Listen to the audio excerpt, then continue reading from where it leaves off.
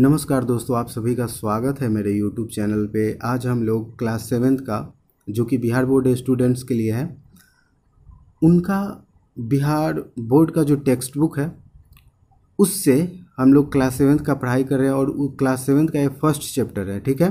तो first chapter का first lecture हो चुका है, जिसमें हम लोग यहाँ तक कंप्लीट कर चुके हैं। अब जो सेकेंड टॉपिक है, इसी चैप्टर का वो है, भूमिगत जल एक महत्वपूर्ण स्रोत। तो इसके बारे में हम लोग पढ़ेंगे। अभी तक आपने इस इस चैप्टर का फ़र्स्ट वीडियो नहीं देखा है तो प्लीज़ जा कर के वो वीडियो देखिए। प्लेलिस्ट में मौजूद होगा और ये दूसरा लेक्चर हो, इसका होगा। तो अच्छे से इस लेक्चर को समझना है तो इस तो इसका जो फ़र्स्ट लेक्चर है वो देखना बहुत ज़रूरी है ठीक है? तो आइए इस वीडियो की शुरुआत करते हैं और इस वीडियो में हम लोग पढ़ेंगे भूमिगत जल एक महत्वपूर्ण स्रोत। तो यहाँ पे एक वर्ड आया, भूमिगत जल। ये भूमिगत जल क्या होता है? भूमि से पता चला है। भूमि का मतलब क्या होता है? ये भूमि है तो भूमि का मतलब क्या होता है? धरती। तो धरती के अंदर जो जल मिलता है, धरती के अंदर जब हम लोग चापाकल या फिर जो हैंडपम्प होता है या फिर जो कोई बोरिंग करवाया जाता है, ट्यूबवेल जिसको बोलते हैं तो उससे पानी धरती के अंदर से निकलता है। तो वैसा जल जो भूमि के अंदर होता है, यानी कि धरती के अंदर होता है, उस जल को क्या बोलते हैं? भूमिगत जल बोलते हैं। और यहाँ पे लिखा हुआ है एक महत्वपूर्ण स्रोत। तो यहाँ पे स्रोत क्या होता है? स्रोत का मतलब क्या होता है फ्रेंड्स? तो स्रोत का मतलब होता है वैसा जगह या फिर वैसा वस्तु जहाँ से हम कोई चीज़ प्राप्त करते हैं, वो क्या कहलाता है? स्रोत कहलाता है। क्या कहलाता है? स्रोत कहलाता है। जैसे हम लोग वाटर का यूज़ करते तो हम लोग वाटर कहाँ से लाते हैं? तो कोई व्यक्ति कुआँ से लाता होगा किसी के यहाँ कुआँ से आता होगा या फिर किसी के यहाँ हैंडपम्प से मिलता होगा या फिर कोई नदी से जा कर के लाता है तो तो जो व्यक्ति नदी से लाता है, वो वो नदी उसके लिए वाटर का सोर्स क्या कहलाएगा? नदी कहलाएगा, कहलाएगी, नदी कहलाएगी, और जो व्यक्ति कुएँ से लेकर के आता है तो वो कुआँ उसके लिए क्या होगा? वाटर का सोर्स होगा। हम लोग के घरों में क्या हैंडपम्प है या फिर नल वाला पानी आता है टंकी का तो वो जो टंकी है, वो क्या कहलाएगा? हम लोगों के लिए वाटर का सोर्स कहलाएगा। तो यही, इसी को क्या बोलते हैं? सोर्स बोलते हैं, स्रोत बोलते हैं, ठीक है? इंग्लिश में इसको सोर्स बोलते हैं और हिंदी में इसको क्या बोलते हैं? स्रोत बोलते हैं। अब इसको समझते हैं तो क्या करें यहाँ पे कि क्या आपने कभी चापा नल या फिर हैंडपम्प अथवा नलकूप के लिए बोरिंग होते देखा है? आप ज़रूर देखे होंगे कि अपने आसपास अपने घर के आसपास में क्या होता है? बोरिंग होते हुए या फिर हैंडपम्प के लिए क्या है? जो मिस्त्री है वो क्या करता है? आ करके और पाइप डालता है। अब क्या कराए कि क्या आपने कहीं हौज, टैंक आदि के लिए गड्ढा बनाते देखा है? आप ध्यान दीजिए कि यह गड्ढे एक निश्चित गहराई तक बनाए जाते हैं। ऐसा क्यों है? तो क्या कराए कि सभी नलकूपों अथवा हैंडपम्प में, सभी नलकूपों अथवा हैंडपम्प में लगे पाइप की लंबाई समान क्यों नहीं होती है? हाँ आपको, आप जैसे अगर आप फैमिली में सुने होंगे, अभी तो छोटे हैं, मान लीजिए फैमिली में सुने होंगे तो क्या होता है कि कहीं कहीं पे एक गाँव के ही एग्जांपल है तो एक गाँव में जब चापा चापा नल या फिर टैंक क्या बोलते हैं सबमर्सिबल का जब पाइप डाला जाता है तो हर एक जगह का जो गहराई होता है, हर एक जगह की पाइप की लंबाई होती है, वो डिफरेंट होती है। कहीं कहीं पे ऊपर ही मिल जाता है, कहीं कहीं पे बहुत नीचे जाना पड़ता है। तो ये ऐसा क्यों है? तो क्या करा है कि आप उन कारीगरों अथवा आप उन कारीगरों अथवा अपने से बड़ों से बड़ों से इस बारे में बात करेंगे तो जानकारी मिलेगी कि सभी सभी जगह पे समा, समान गहराई तक पाइप नहीं डाली जाती है। कुछ स्थानों पर यह गहराई कम तो कुछ स्थानों पर अधिक होती है। इसका कारण क्या है? तो इसका कारण कम तथा अधिक गहराई पर जल के स्तर का मिलना है। इसका मतलब क्या है कि कहीं कहीं पे जल जो है, मान लीजिए भूमि है तो भूमि के नीचे कहीं कहीं पे जल यहीं पे मिल जाएगा और कहीं कहीं पे बहुत नीचे होता है। तो मान लीजिए हम चापाकल डाल रहे हैं तो यहाँ पे अगर जल मिल रहा है तो ये इसकी दूरी क्या हो गई? कम हो गई, यानी इसकी पाइप की लंबाई कम कम में ही हो जाएगा और कहीं कहीं पे बहुत नीचे मिलता है। तो इसलिए बहुत नीचे डालना पड़ता है, इसलिए कहीं कहीं पे पाइप की लंबाई क्या हो जाती है? बहुत ज़्यादा गहरी हो जाती है। अब क्या करें यहाँ पे कि इसका कारण कम और अधिक गहराई पर जल के स्तर का मिलना है। पाइप डालने के लिए बोरिंग करते समय जिस गहराई पर चट्टानों अथवा मिट्टी के बीच सारे के सारे रिक्त स्थान पर जल भरा होता है, उसकी ऊपरी परत को क्या बोलते हैं? भौम जल स्तर कहते हैं। अब ये भौम जल स्तर क्या है, इसको समझते हैं। तो यहाँ पे एक पिक्चर लिए है, उसी से समझा देते हैं आपको। तो यहाँ पे आप देख सकते हैं फ्रेंड्स कि जब बारिश होती है, ये यहाँ पे क्या है, बादल है। और जब बारिश हो रही है, यहाँ पे प्रेसिपिटेशन मतलब क्या होता है, वर्षा। तो क्या करें, यहाँ पे कि जब बारिश होती है ऐसे तो रेनिंग रेन रेन रेन मतलब क्या होता है? वर्षा। तो रेनिंग मतलब क्या होता है? वर्षा होना, लेकिन प्रेसिपिटेशन भी इसको बोलते हैं, ठीक है? इंग्लिश में। तो क्या करें यहाँ पे? कि जब बारिश होती है तो बारिश का पानी, ये क्या है? सॉयल सॉयल मतलब क्या होता है? मिट्टी। तो मिट्टी के ऊपर क्या होता है? जम जाता है। और धीरे धीरे सॉयल में क्या होता है? बहुत सारे छिद्र होते हैं। और उन्हीं छिद्रों से ये जो जल है, वो नीचे आकर के एकत्रित हो जाता है। और नीचे आकर के एकत्रित कहाँ पे होता है? क्योंकि इसके नीचे में क्या होता है? रॉक होता है। रॉक मतलब क्या होता है? चट्टान, पत्थर।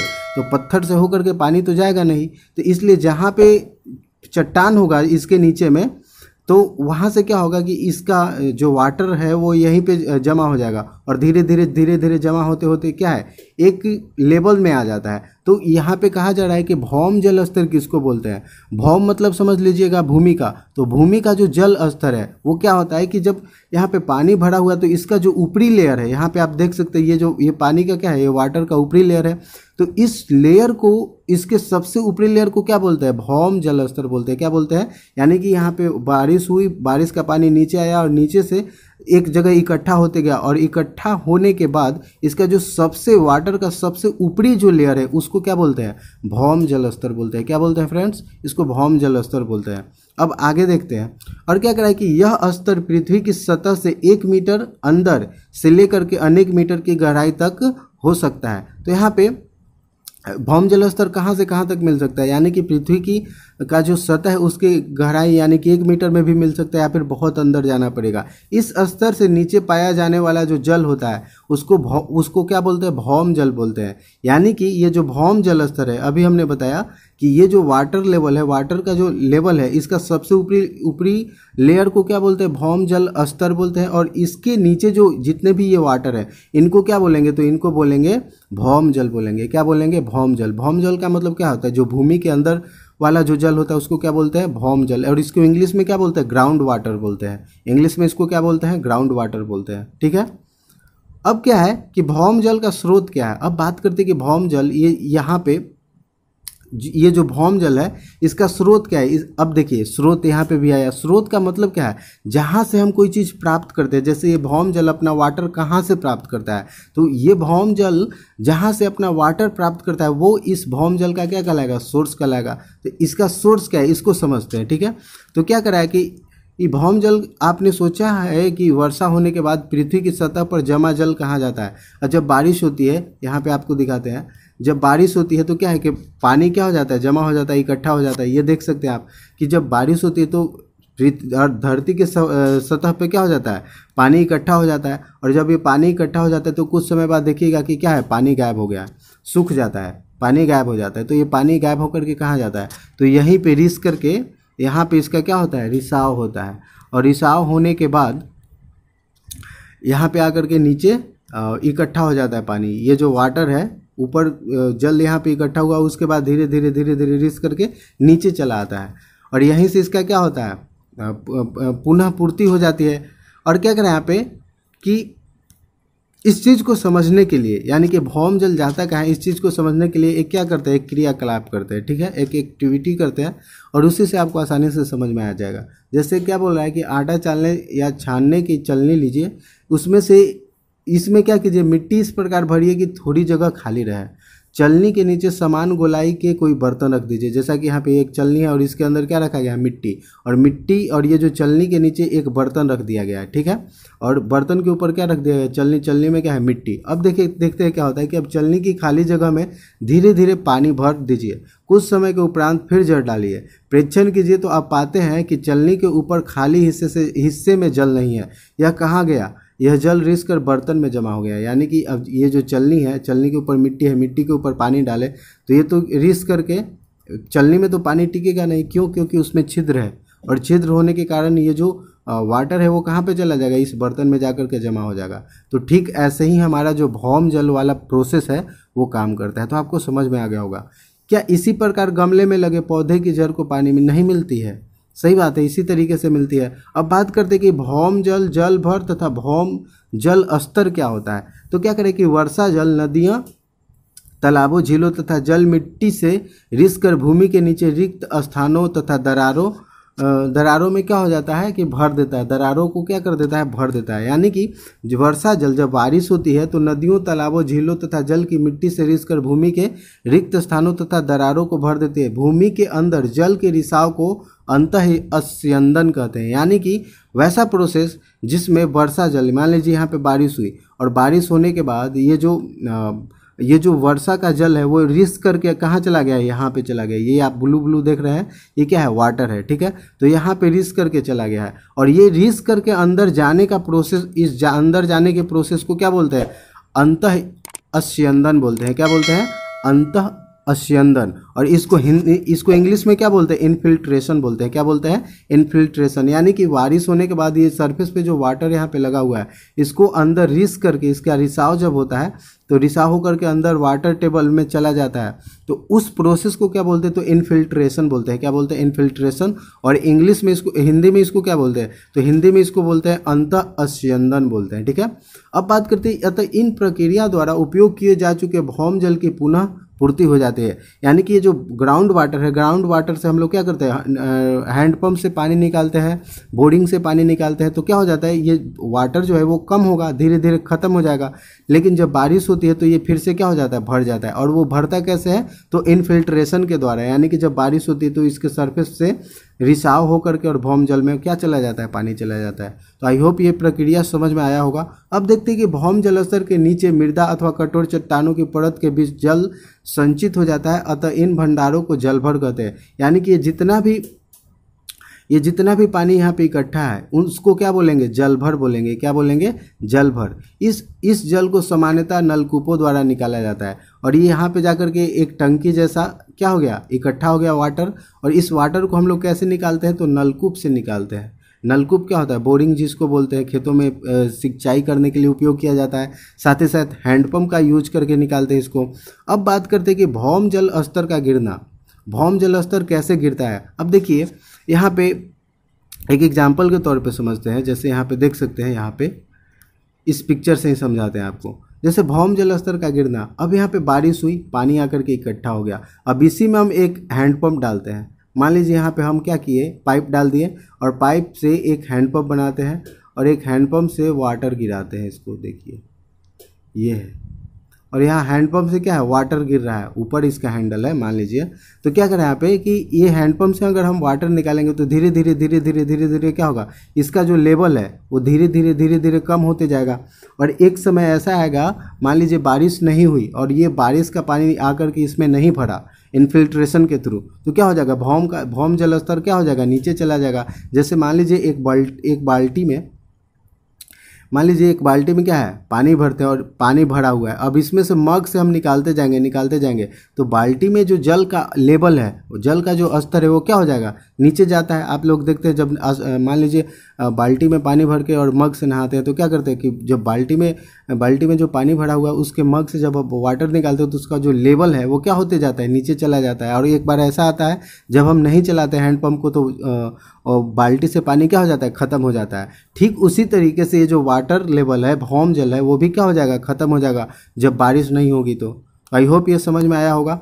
अब देखते हैं क्या है कि क्या परि, क्या परिपूर्ति एवं उपयोग की मात्रा समान है?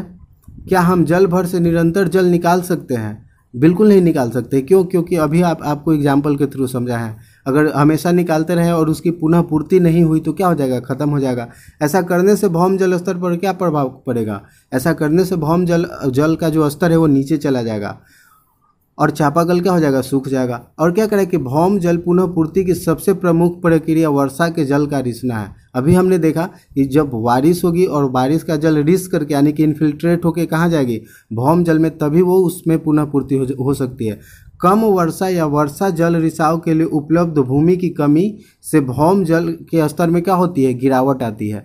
मतलब भौम जल ये जो भौम जल है इसमें इस, इसके अंदर इसके अंदर जो जल है इसमें इसके स्तर में गिरावट कैसे आती? तो पहला कारण है या तो कम वर्षा। बारिश नहीं हुई तो भी भौम जल स्तर क्या चला जाएगा? ग्राउंड वाटर नीचे चला जाएगा। या फिर वर्षा जल के रिसाव के लिए जो उपलब्ध भूमि है, उसकी अगर कमी हो जाएगी तो वहाँ से भी क्या हो जाएगा? भौम जल स्तर में गिरावट आ जाएगा। जैसे इसको एक एग्ज़ाम्पल के तौर पर देखते हैं। मान लीजिए ये क्या है? खाली लैंड है। इसको एक एग्ज़ाम्पल के तौर पे समझते हैं। तो मान लीजिए ये क्या है? खाली लैंड है ये। अब यहाँ पे बारिश होगी। यहाँ पे बारिश का पानी गिरेगा।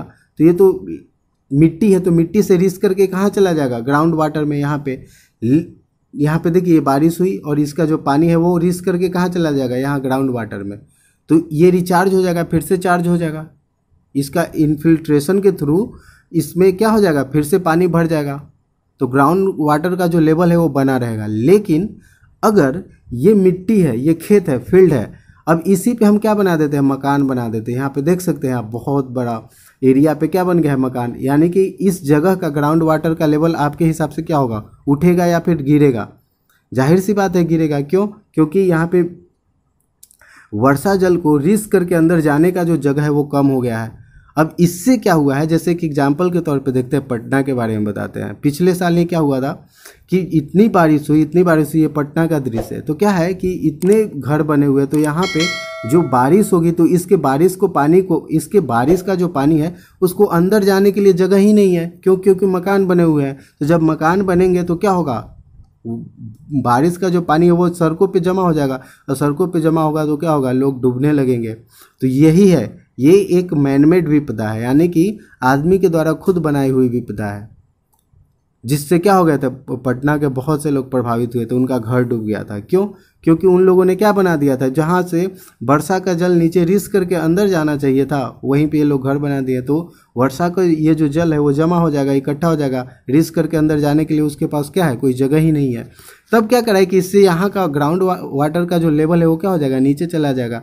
अब क्या करें यहाँ पे कि गिरावट आते जनसंख्या वृद्धि औद्योगिकीकरण। कृषि वन रोपण आदि भी भौम जल स्तर को क्या करते हैं? प्रभावित करने वाले कारक हैं। साथ ही याद रखने की बात है कि पृथ्वी की आंतरिक संरचना में भी परिवर्तन भी भौम जल के स्तर को क्या करता है? प्रभावित करता है। ठीक है? ये तो समझ में आ गया। अब आगे देखते हैं। तो क्या करें कि कुछ स्थानों पर अत्यधिक वर्षा होती है। कुछ स्थानों पर बहुत कम वर्षा होती है। अत्यधिक वर्षा से अक्सर उत्तर बिहार में क्या आ जाती है? बाढ़ आ जाती है। वहीं दक्षिण बिहार में कम वर्षा के कारण क्या हो जाता है? जल की कमी हो हो, हो जाती है और सूखा पड़ जाता है। जैसे यहाँ पे एक एग्ज़ाम्पल के तौर पे देखते हैं। तो ये वाला अच्छा उत्तरी बिहार में बाढ़ क्यों आती है? हम लोग हमेशा सुनते हैं कि उत्तरी बिहार में क्या आ गया है? बाढ़ आ गया और दक्षिणी बिहार सूखा रह गया है। ऐसा क्या कारण है? तो इसका कारण ये है कि यहाँ पे बहुत सारे माउंटेन्स हैं। ये बिहार के उत्तर में जैसे नेपाल है तो हिमालय माउंटेन भी कहाँ पे है नेपाल में?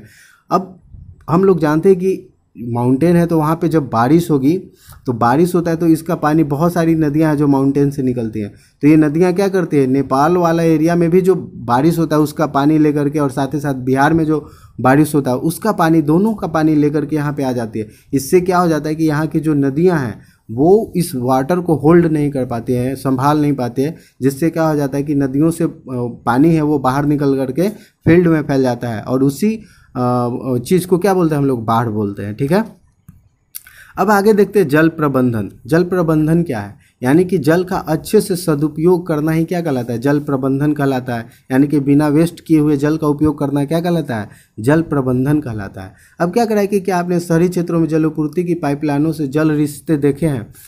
क्या आपने नलों से जल बहते देखा है? बहुत बार। ये तो कॉमन है, यानी कि कहीं पे जाइएगा, पाइप फूटा हुआ है और उससे जल क्या है? बाहर निकलते जाता है।